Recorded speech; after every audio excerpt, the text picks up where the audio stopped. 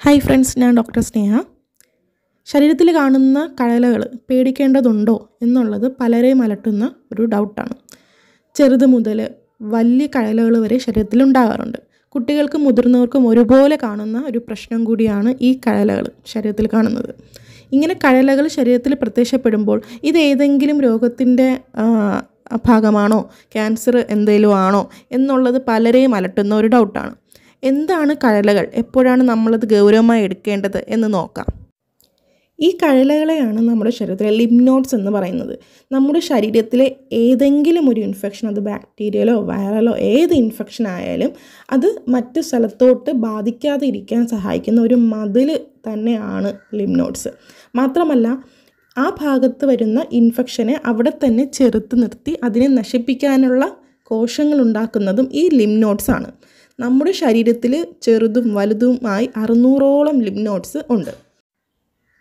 ഏതെങ്കിലും ഇൻഫെക്ഷൻ വരുമ്പോഴാണ് ഈ ലിംനോട് അടുത്ത് വീക്കം ഉണ്ടാകുന്നതും ചെറിയ വേദന അനുഭവപ്പെടുന്നതും. പനി ജലദോഷം തൊണ്ടവേദന ഒക്കെ വന്നാൽ കഴുത്തിന് പുറകിലുള്ളതും സൈഡിലുള്ളതുമായിട്ടുള്ള മുഴകളിൽ വീർത്ത് വരാം. അത് ഏത് ഇൻഫെക്ഷൻ ആയാലും മംസ് അഞ്ചാം പനി chikungunya H one N one chicken pox ഇങ്ങനെയുള്ള പല രോഗത്തിന്റെയും തീവ്രത അനുസരിച്ചിട്ട് പിന്നീട് കോമൺ ആയിട്ട് കാണുന്നത് പല്ല് വേദന.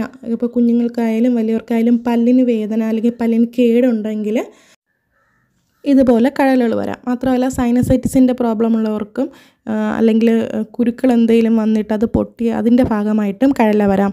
കഴ കാലിൽ മുറിവുണ്ടായി അത് പഴുത്ത അവസ്ഥയിലിരിക്കുമ്പോൾ നമ്മുടെ തുടയിടുക്കിലെ തുടയിടുക്കിലായിട്ട് കടല പ്രത്യക്ഷപ്പെടാം.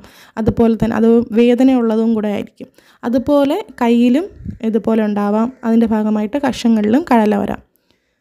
ചെള്ളുപനി തലയിൽ പെയിൻ കുട്ടികൾ കൂടുതൽ എഫക്റ്റ് ചെയ്യുന്ന ഒരു പ്രശ്നമാണ് തലയിൽ പെയിൻ ഉണ്ടെങ്കിൽ അമ്മമാർ പെട്ടെന്ന് ശ്രദ്ധിച്ചോളൂ. അതായത് തലയുടെ അല്ലെങ്കിൽ കഴുത്തിന് ഭാഗത്തായിട്ട് രണ്ട് സൈഡിലായിട്ടോ എവിടെയെങ്കിലും ചെറിയ കഴലുകൾ വരാൻ ചാൻസ് ഉണ്ട്. അത് ഈ പെയിനിന്റെ ശല്യം കൂടുതലുള്ളത് കൊണ്ടാണ്.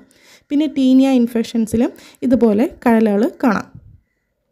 സാധാരണ ഇത്തരം കഴലകൾ കുട്ടികളിൽ ഒരാഴ്ചയോ മുതിർന്നവരിൽ ഒരു മാസമോ കൊണ്ട് മാറും. കുട്ടികളിൽ ഈ ഒരു ആഴ്ചയോ അല്ലെങ്കിൽ മുതിർന്നവരിൽ ഒരു മാസമോ കൊണ്ട് മാറിയില്ല എന്നുണ്ടെങ്കിൽ ഒരു ഡോക്ടറിനെ കണ്ട് ഇത്ര ദിവസമായി ഇത് വന്നിട്ട് വേദനയുണ്ട് എന്നീ കാരണങ്ങൾ കാര്യങ്ങളും പറഞ്ഞ് ചോദിച്ച് മനസ്സിലാക്കി ട്രീറ്റ്മെന്റ് എടുക്കേണ്ടതാണ്. ഡോക്ടറിനെ കണ്ട് തന്നെ ട്രീറ്റ്മെന്റ് എടുക്കുക. ഇത്തരം കഴലകൾ വീർത്ത് വരുന്നത് കൊണ്ട് ഗൗരവമുള്ള രോഗങ്ങൾ ഏതൊക്കെയാണെന്ന് നോക്കാം. ക്ഷയരോഗം ചെള്ളുപനി ഓട്ടോ ഇമ്മ്യൂൺ ഡിസീസ് ആയിട്ടുള്ള rheumatoid arthritis S L E പോലുള്ള അസുഖങ്ങൾ H I V H I വിക്ക് കഴലകൾ തുടക്കത്തിൽ കാണുന്ന ഒരു ലക്ഷണമാണ്. പിന്നെ ക്യാൻസർ പോലുള്ള രോഗങ്ങൾ. ഇവരുടെ ഒരു ലക്ഷണങ്ങളായിട്ട് കഴലകൾ കാണും. നമ്മൾ ഗൗരവമായി എടുക്കേണ്ട സാഹചര്യം എന്നുള്ളത് കഴലകൾ വന്നിട്ട് ഓരോ ദിവസം കഴിയുമ്പോഴും വലുതായി വലുതായി വരുന്നു. വരുന്ന അവസ്ഥ.